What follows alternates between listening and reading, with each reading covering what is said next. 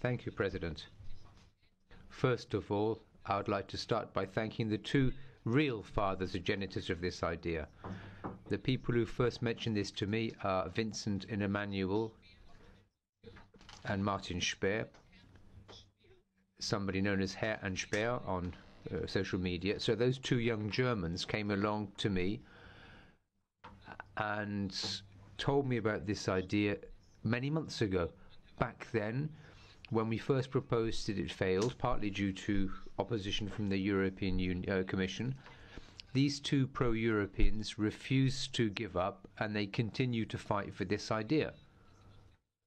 Once Mr. Weber picked up on the idea during the last part session, he mentioned this in the State of the Union speech, and I must say I was very surprised. Uh, when I heard Mrs. Bulc mentioning this today, I thought, okay, that's three of us. Let's hope we can get some more support. And I think the debate so far demonstrates that that support is building. I think this is a fantastic idea.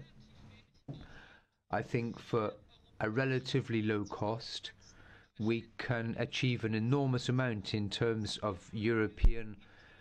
Uh, Europeans to better understand each other and get to know each other. I've done it around myself. I went to the UK. I couldn't afford to sleep anywhere except the beach, unfortunately.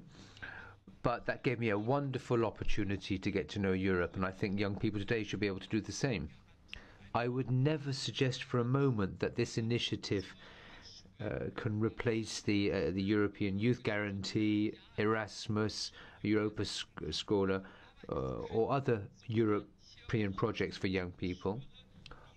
But I think lots of glossy brochure style projects which cost a lot of money and lots of public relations campaigns run by the Commission could be usefully replaced with ideas such as this. So you have our full support.